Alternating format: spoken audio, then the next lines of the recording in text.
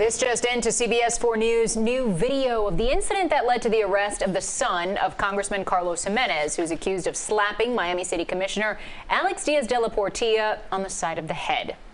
We're also hearing from a former prosecutor and defense attorney who says the battery charges can have serious consequences. CBS 4's Peter D'Oench is live in Coral Gables at the police department. And Peter, that surveillance video was released just a short while ago.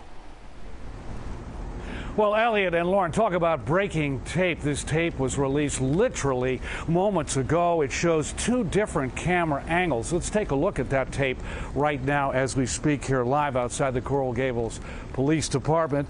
Uh, this tape, according to police, shows a struggle between Carlos Gimenez Jr. and a sergeant of arms who was with Miami Police at part of the protective detail for the commissioner. He is trying to restrain Gimenez before Coral, Coral Gables police get there. This is outside the Morton's restaurant on Ponce de Leon Boulevard. Now, witnesses react to this, and there is a 911 call for police assistance. This is the newest look at what happened there. We tried to speak with Gimenez earlier today.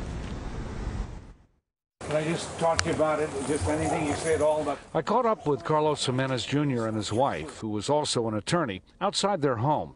We asked to speak with him about accusations that he slapped Miami Commissioner Alex Diaz de la Portilla on the side of the head with an open hand while he was having lunch Wednesday afternoon at Morton Steakhouse in Coral Gables.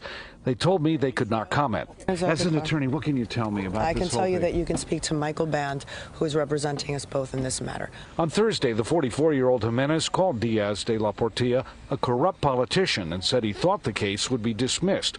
We also asked him about that. Do you feel the charges will be just? No, I'm okay. Do you feel the charges will be dropped? Can't say anything, Peter. I'm sorry. Can't say anything, nothing at all. When we reached out to Diaz de la Portilla, he told us in a statement. It is now well documented that this coward approached me from behind and gave me a backhand as he ran away. He was unprovoked and there was no conversation.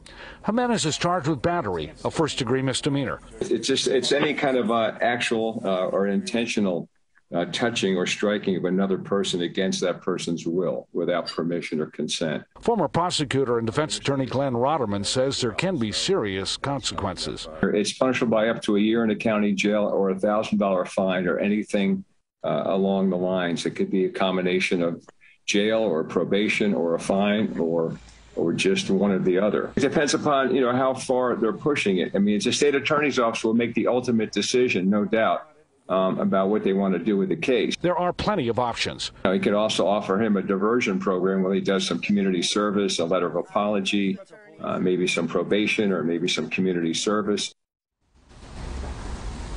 Now, I spoke with Gimenez's attorney, Michael Band. He is a prominent defense attorney and former longtime prosecutor with the Miami Dade State Attorney's Office. He told me he is still gathering the facts in this case and could not comment right now.